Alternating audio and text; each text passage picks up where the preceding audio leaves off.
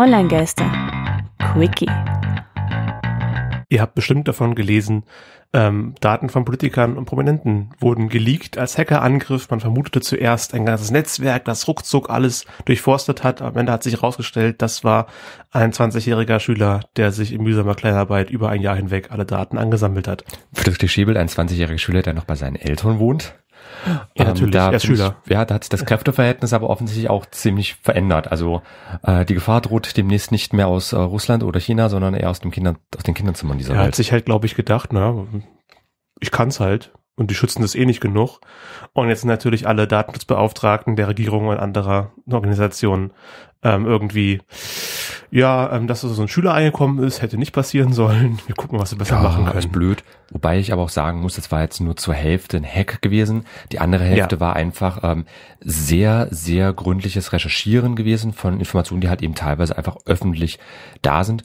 Ähm, es wurde zwar gesagt, dass das eigentlich keinen politischen Hintergrund haben sollte, Aber, aber, es war schon auffällig, dass alle- kein Politiker der Ja. AfD betroffen war. das ist, finde ich, nämlich auch sehr auffällig. Also jede andere Partei, jede größere andere Partei in Deutschland, bis eben auf die Alternative für Deutschland, äh, ist davon betroffen, auch verschiedene Menschen, Personen des öffentlichen Lebens, aber halt eben kein Politik von denen. Also es ist zumindest interpretationswürdig. Aber auf die Interpretation wollen wir uns jetzt gar nicht äh, groß einlassen. Also ich möchte auch der AfD daran keine. Schuld geben. Ich glaube nicht, dass einer bei denen daran beteiligt war. Ich glaube nur, dass die äh, Sympathien des Täters entsprechend liegen. Vielleicht, vielleicht nicht. Wir können es einfach nicht sagen, dass unsere Datenlage zu dünn. Äh, wo die Datenlage aber wesentlich besser ist, ist ähm, unsere Meldung Nummer zwei, genauer gesagt unser Hack Nummer zwei, Ach Gott. beziehungsweise Collection Number One. Davon habe ich nicht gehört. Das- Sieben Millionen Nutzerdaten. 700 Millionen. Ja, da habe ich nur mehr als 700 Millionen Nutzerdaten.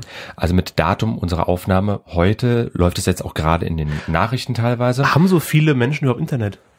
Ähm, aktuell haben, Gott wie ist, es, ich glaube 3,9 Milliarden Menschen, also etwas über 50 Prozent der Gesamtweltbevölkerung haben jetzt Okay, Internetanschluss. davon jetzt etwa ein Viertel? ja, beziehungsweise Ja. halt die Nutzerdaten. Ich meine, wie viele Benutzerkonten Ja, ja, hast okay, du bei gut, verschiedenen ja. Diensten? Das stimmt Ähm, schon wieder. Da ist das Wichtige eigentlich, diese äh, Datensammlung als Collection Number One bezeichnet von einem Australier, ähm, der die Seite haveibeenpawns.com betreibt, wo ihr PWNED hinten, Genau. nicht, nicht Pornos. wir packen es euch in die Shownotes mit rein. Dort könnt, nachgucken, wenn ich zu Hause bin. dort könnt ihr überprüfen, ob ihr halt ähm, auch Teil des Ganzen seid, also einfach eure E-Mail-Adresse eingeben und wenn die in einem dieser Datensätze, die der Mann da gesammelt hat, ähm, auftaucht, dann werdet, seid ihr halt einfach gewarnt, was da war, also ob ihr da betroffen seid oder nicht. Wichtig, das sind alte und neue Hacks. Ich habe selbst mal geschaut, ich wurde ähm, bei zwei Konten betroffen, aber unter anderem auch der Tumblr-Hack von 2013, der Ah, okay. 2016 schon bekannt wurde. Also, was ja okay, schon 2016, aber der halt schon bekannt ist. Aber das nur als Warnung da draußen. Wie gesagt, haveabeenpawns.com. Wir packen es euch auch nochmal in die Shownotes dazu. Und ansonsten, Weitere Themenüberblick. Ähm, davon habe ich auch nicht gehört. Spionage für alle mittels Apple AirPods. genau, die Apple AirPods, also diese drahtlosen Kopfhörer, die ja über was? Bluetooth funktionieren, können halt eben auch zum Ausspionieren missbraucht werden. Also wenn sich da jemand ins Bluetooth oh reinhackt. Okay, ja, das ergibt Sinn, hätte man, Ja. hätte man vorher wissen können. Also drahtlos, ich meine, ganz ehrlich, dass man jetzt auf die auf den Trichter kommt, also es ist ja auch mit äh, Alexa und Co., also den Sprachassistenten, die war, wurden ja auch schon für Hacks mit benutzt, einfach weil dieses drahtlos natürlich vieles ermöglicht an der Stelle. Also insofern, ähm, nur als Hinweis an der Stelle, haben wir von FutureZone AT gefunden, die Quellendaten und äh, die Quelle als Information und packen wir euch natürlich auch gerne in die Shownotes mit rein, dass ihr euch das nachlesen könnt. Jawohl. Ähm, es gibt ja auch so viele Google-Suchanfragen. Ist das irgendwie spannend? Mhm, Ja, so verhältnismäßig, also ähm, da auch nur als Hinweis. Augsburger Allgemeine ähm, haben wir da als Quelle mitgenommen. Die wichtigsten Google-Suchanfragen vom Jahr 2018 hat halt vor allem ähm, mit ja, den üblichen Tagesthemen zu tun. Also sei es jetzt Daniel Kübelböck, der ja, ich glaube, gestorben ist, selbst Ich glaube, ich habe keine Ahnung, ich habe das nur am Rande mitbekommen. Ja, ich habe den aktuellen Aber Stand. Das Letzte, was ich wusste, ist, dass er verschwunden ist und nicht mehr aufgetaucht ist. Ja, und aber man irgendwie- vermutet, dass er ins Meer gesprungen ist. Ja, irgendwie bei einer Kreuzfahrt, wo er, glaube ich, auch aufgetreten ist, oder irgendwie sowas in diesem Kontext, aber das war halt eben auch ein recht häufiger Suchbegriff gewesen. Äh, dann natürlich auch ähm, Weltmeisterschaft, also Fußballweltmeisterschaft, eigentlich so das Übliche in den Tagesthemen, was halt eben auch häufig gesucht wird. Da nur Mond als- wegen dem Blutmond, der jetzt am Mond, der Ja. zum Zeitpunkt der Aufnahme letzten Montag, als Zeitpunkt der Ausstrahlung letzten Montag gewesen sein wird. Cool. Ja, so. Hier gab es aber auch, äh, diesen Supermond gab es ja auch im letzten Jahr, Mitte letzten Jahres. Genau. Und das war halt auch ein ähm, Beispiel, Suchbegriff, der halt eben recht Zu einer populär war. angenehmeren Zeit. So einfach, ah, ich weiß auch nicht, 2018 ist ja auch nicht so toll. Das ist immer diese Verklärung im Nachgang. Aber lange Rede, kurzer Sinn. Ähm, wir packen euch den Link da auch in die Shownotes von der Augsburger Allgemeinen. Da könnt ihr auch gerne mal dann so ein bisschen nostalgisch nachschauen, ob euch diese Begrifflichkeiten auch betroffen haben. Dann wurden ein paar Apps analysiert von Privacy International. Haben die was so mit Amnesty International? Oder ist, ist auf jeden Fall, also internationale Organisation, die okay. sich in dem Fall mit der Privatheit, ja. Datenschutz auseinandersetzt. Ähm, und 61 Prozent der Apps, die irgendwie Daten verarbeiten, geben trotz äh, DSGVO ohne Zustimmung der Nutzer diese an Facebook weiter. Yay. Danke. Mhm. Das, ist, das ist cool. Kann man da einfach, irgendwas machen? Nein, das ist einfach diese praktische Umsetzung des Ganzen. DSGVO gibt's ja erst seit einem knappen Jahr. Äh, da möchte ich bei uns übrigens auch, wenn wir unsere Mai-Folge haben, mal so einen kleinen äh, Rückblick machen. So ein Jahr später ist die Apokalypse ausgeblieben. Ja, nein, vielleicht. Überlegt ihr schon mal Fragen dazu, die ihr noch habt und schickt die her. Wir haben dann, glaube ich, kriegen wir Dorothee Bär die die ich Datenschutz bin immer nee ich bin also ich bin der Staatsministerin ich habe ich frage regelmäßig an okay. aber inzwischen scheint das Büro mich da zu ignorieren Aha. nachdem man mir immer gesagt ah die Frau B hat ja leider so viel zu tun ja sie muss halt Selfies bei Twitter hochstellen oder so ein Spaß oder ein also Dirndl ich, ich, auf ich glaub, ich glaube schon dass da dass eine Staatsministerin zu, mehr zu tun hat, als man sich so vorstellen kann. Aber mag ja, sein, aber wir hatten schon teilweise Minister bei uns auch zu Gast gehabt und die ja, haben sich trotzdem von, die Zeit von, genommen. Von also, Thüringen, mein Gott, ne, das ist das ist ja. Ne? Mach jetzt Thüringen nicht schlecht. Du ich, ich, Nieder, ich, mach, Niedersachsen. Ich mach Thüringen nicht schlecht. Ich behaupte, dass in einem Bundesland weniger zu tun ist als in einem, in einem ganzen Staat. Ja, merken wir jetzt gerade, aber das ist eine persönliche Meinung, anderes okay. Thema.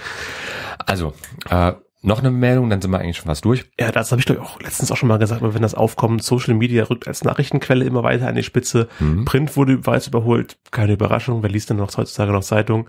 Ähm, und trotz des Vertrauensverlustes in den letzten, in letzten, Verlauf des letzten Jahres ähm, verlinken wir euch eine Studie von onlinemarketing.de. Ähm, also als Quelle finde ich es immer, also ich habe immer Twitter offen für wenn was passiert. Und wenn, also wenn irgendwas aktuell passiert, dann wird da mindestens einer von denen ich folge drüber twittern, drüber tweeten. Was sagt man jetzt in Deutschland? Keine Ahnung. Twittern. Twittern. Hm. Oder twittern. Das lese ich dann, okay, was ist passiert? Und dann kann ich bei seriösen Quellen, weiß nicht, Tagesschau.de, Frankfurter Allgemeine, Spiegel, oder hm. Spiegel bin ich jetzt ein auch mal vorsichtig. Ähm, ähm, es geht aber einfach nur darum, Social Media wird als genau. Nachrichtenquelle immer relevanter und interessanter. Und um eine alte Rubrik mal auszugraben, die wir schon eine Weile nicht mehr genutzt hatten und um es auch gleich einzustimmen auf die Social Media Situation mhm. in Deutschland, ähm, haben wir uns mal wieder die, die ähm, Länderliste beim Branchendienst Alexa, das hat jetzt nichts mit dem Sprachassistent zu tun, gehört aber beides zu Amazon, rausgekramt mit den beliebtesten Websites in Deutschland. Weiterhin ähm, Google auf Platz 1. Ja, also google.com, ganz wichtig, google.com ja, auf Platz 1. Google.de auf Platz 3. Wow. Genau weil halt eben unterschiedliche Domains, die werden also ja. extra gezählt. Ja. Aber ich sag mal, in den Spitzenpositionen gibt es jetzt re recht wenig Überraschung. Facebook ist allerdings auf Platz 5 abgedriftet, was zum einen vielleicht mit App-Nutzung zu tun hatte. Ähm, die waren teilweise auf Platz 2 gewesen. Oh könnte unter anderem damit zu tun, dass es schlicht einfach mehr App-Nutzer gibt, ja. dass die Website nicht mehr so populär ist oder eben die Datenschutzsituation im letzten das, Jahr. Ich habe aber auch gehört, dass jetzt viele, gerade junge Leute, Facebook eher als uncool empfinden, so dass alte, alte Leute Social Media, wo die Tanten und Onkels und Omas Bilder posten und irgendwelchen unlustigen Gruppen Sachen teilen. Ja, aber gerade die ADZF Online-Studie hat herausgefunden, äh, im letzten Jahr sind äh, haben sich, glaube ich, ab 60 war das gewesen, haben sich die Nutzerzahlen teilweise verdoppelt. Also die ah. ab 30, 40-Jährigen, die steigen steil an. Und auch ähm, genau, was die Internetnutzung angeht und auch eben die Social Media Nutzung. Also die rücken quasi wieder nach. Und inzwischen haben wir in Deutschland mehr als die Hälfte der Gesamtbevölkerung, die 50 plus ist. Also ja. einer von uns beiden müsste über 50 sein, rein statistisch. So funktioniert Statistik nicht. ja, aber rein statistisch, deswegen, ähm, ja, Statistiken der Punkt. Ähm, aber wie gesagt, auf den vorderen Plätzen eigentlich wenig Überraschungen. Äh, die, Wikipedia, Russen, die Russen kommen wieder. Auf Platz 9. VK, das russische 10. Facebook. Dann Mail.ru, das ist halt ein populärer Mailanbieter. Yandex.ru, das russische und Google. Die erste Pornoseite auf Platz 12, Xhamster. Genau, auf Platz 13 kommt dann Live, Live Jasmine. So weit über YouPorn und Pornhub? Äh, das keine Ahnung, scheint aber Ich habe so, letztes Mal auch schon gesagt, als wir das Dingens hatten. Ähm, Xhamster und Live Jasmine scheint populärer als Instagram zu sein, zumindest Kein die Wunder. Website. Das ist ja eher der Punkt, die Website an der Stelle. Äh, ansonsten gibt es nicht viel Überraschung. Twitter finde ich ist ein bisschen vorgekrochen auf ja, Platz 18. Immer noch hinter PayPal als beliebtesten ja. Online-Bezahlservice. Genau. Pornhub ist ein Platz populärer als Spiegel. Dann kommt Yahoo. Zu Recht. Äh, ähm, Twitch auf Platz 23, das vielleicht erwähnenswert also populäre deutsche Webseiten, dann haben auf Platz 26 die russische Variante von Google. Mhm. Äh, dann Netflix, also das russische Google ist, ist in Deutschland populärer als Netflix. Ist damit Netflix der beliebteste deutsche Bezahl-Streaming-Service? Müsste ich jetzt noch mal kurz die vorderen Plätze anschauen? Also auf meine, Twitch und YouTube kann man ja auch- auch Premium-Varianten. Ja, aber, aber da hast du auf den, äh, den was gleichen so das Content. Prinzipielle angeht, äh, würde ich sagen, ja, dürfte Netflix was, das was gibt's denn aktuell sein. noch genau. neben, also äh, ist bei Amazon.com auch Amazon Prime mit dabei? Das ist ja automatisch das mit drinne. Ah, okay. Dann wird Also das ist bei solchen Diensten immer ein bisschen ja, schwierig. verschwommen, ob der Netflix aber Amazon Ja, Prime populärer also sind. gerade gestern bei meiner Weiterbildung in Hamburg, Mhm. äh, Gott, in äh, Hannover, ähm, hatte ich auch eine Frage da gehabt betreffend der Streaming-Dienste und ähm, da ging es halt auch so um Empfehlung, ob man es auslagern sollte oder nicht. Und da habe ich auch gesagt, Amazon hat ja auch alles bei sich drinne, von Musik-Downloads über Streaming bis zum normalen Online-Shop. Ja. Aber ähm, weiter Nach Amazon Prime Netflix kommt auch erstmal lange Zeit nichts an bekannten Bezahl-Streaming-Diensten. Ja, also da kommt jetzt wirklich eine Weile nichts. Aber was ich sehr interessant finde, AliExpress. Wer? Was? AliExpress ist die 34 populärste deutsche Website. Deutsch, also in Deutschland populärste Website. Äh, du kennst es nicht, das ist von Alibaba, dem chinesischen Amazon. Ah, okay. Ja, das ist so ein internationaler äh, Dienst, also hier der Global Retail Marketplace von Alibaba. Und das finde ich sehr interessant, dass das halt eben so weit im Vordergrund ist. Da hatte ich auch Anfang letzten Jahres mit einem Kollegen mal äh, eine kleine Gesellschaft aufgemacht, wo wir halt ähm, so ein bisschen über AliExpress weiterverkaufen, so Motto billig aus China beziehen und dann halt eben über einen ähm, intermediären Shop weiterverkaufen. War so ein bisschen auch als Testoberfläche für ein paar Sachen angedacht. Also das haben wir jetzt nicht wirklich ernsthaft betrieben, aber da haben wir halt eben auch AliExpress genutzt. Und das scheint jetzt auch generell populärer zu werden. Hm. Da ja sowieso auch, weil Wie teuer sind die Versandkosten von China nach Deutschland? unterschiedlich, aber es ist ja meistens eh über Schiff und naja, China. Es war mal das Billigland der Welt gewesen, ist jetzt nicht Ja. mehr unbedingt der Fall. Ähm, aber, dass wir uns hier nicht zu lange mit aufhalten, äh, was mir aufgefallen noch, ist, äh, GitHub ist populärer geworden, was ich eine schöne Sache finde. 50 Ja, von einer Menge Webseiten. aber wenn T, dreimal X, TXX ist auch eine Pornoseite? Klingt äh, irgendwie so. kann sein, aber was ist- sehr interessant finde, Tumblr ist halt abgestürzt. Äh, ja, Kann mit Wunder. dem Pornoband zu tun haben, den sie im Dezember fangen haben.